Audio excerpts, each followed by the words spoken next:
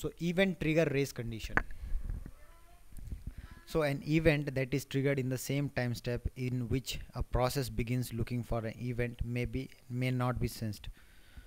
So they are telling some event trigger races. So Verilog provide a basic inter-process synchronization mechanism via event data type.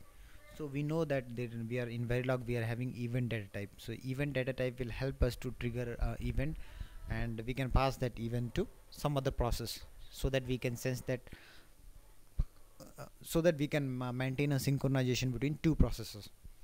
So there are two gotchas associated in Verilog event synchronization.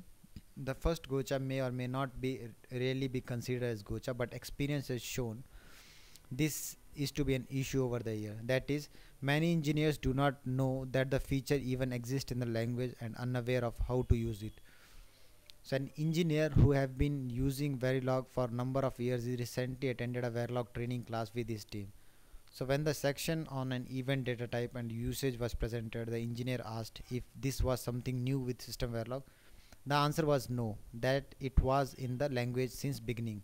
To this, uh, to this, the veteran Verilog engineer replied, "Why hasn't anyone told me about this before?"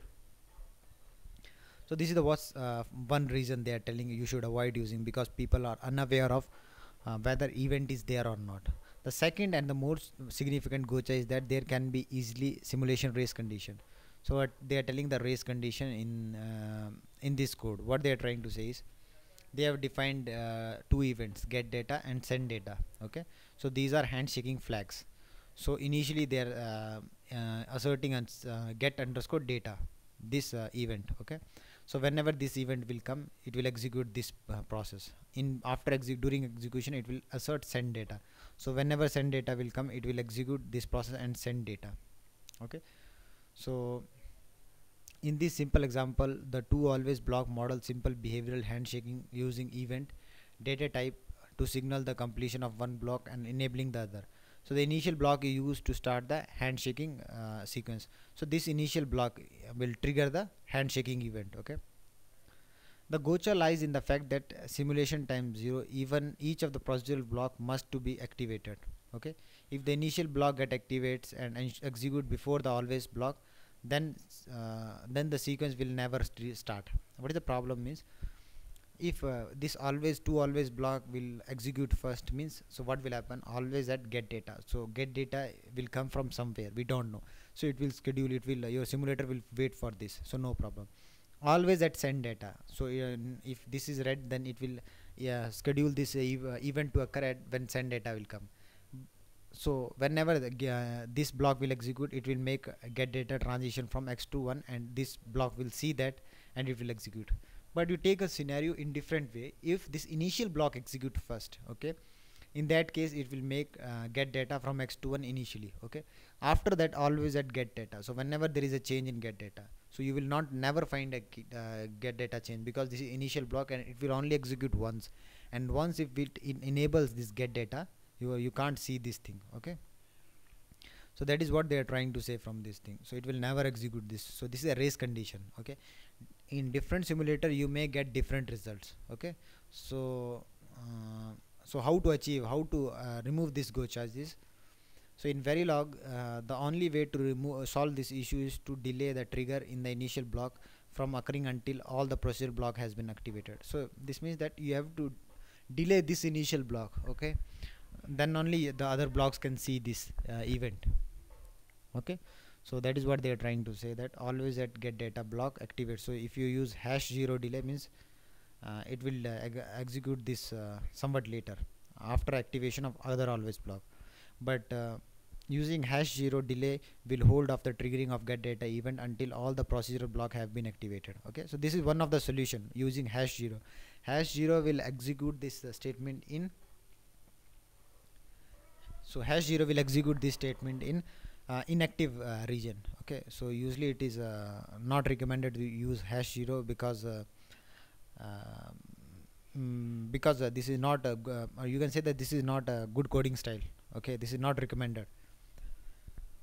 So this ensure that get data block will always see this this get data signal change. But using hash 0 is another gotcha if you're using hash 0 there is a problem so verilog hash 0 construct is easily abused construct and does not truly ensure the delayed statement will execute after all other statement in the given time step.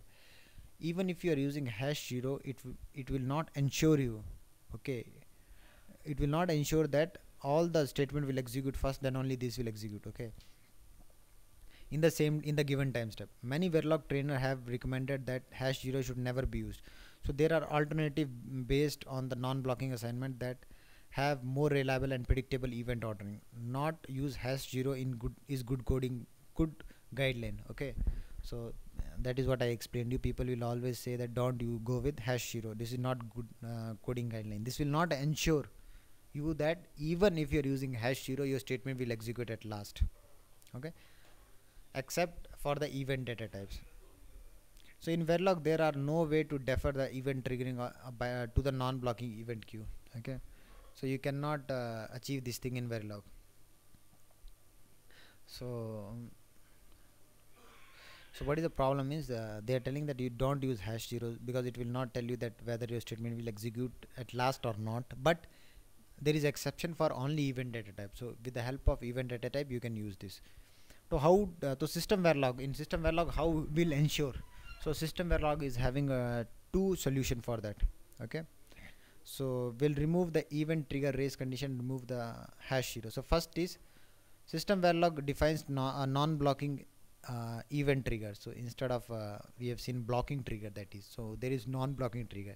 That will schedule the event to trigger in the non-blocking queue. So it will allow your uh, event to execute at non-blocking queue. So during that time you can easily see that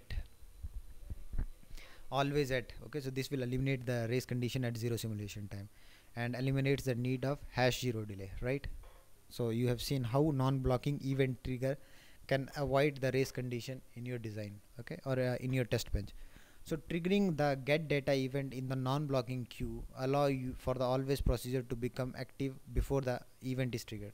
So before if non-blocking triggering you have used, it will uh, make uh, other events to execute first then only